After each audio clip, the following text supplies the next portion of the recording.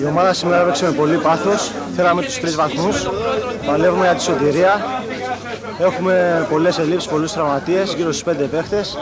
Θα προσπαθήσουμε για το καλύτερο να σωθούμε. Είμαστε μια γειτονιά μικρή.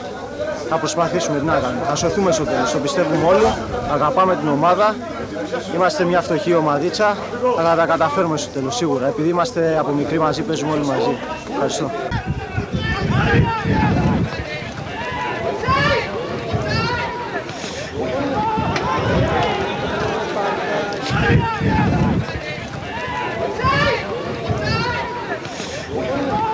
Thank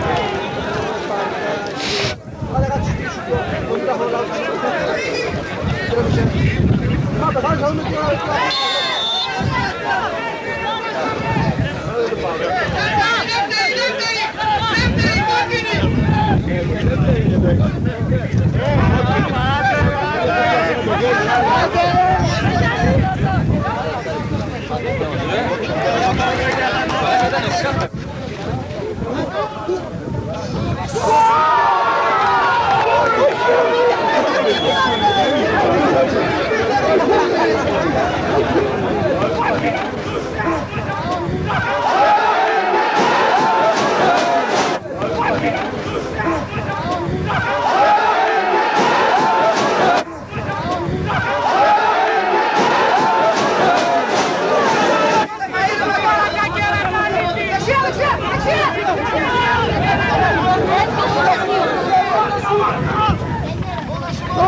uma escura para o pai.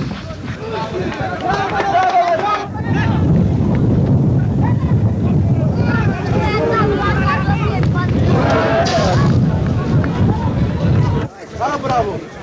Ela sabe, sabe, sabe! E a droga, puta!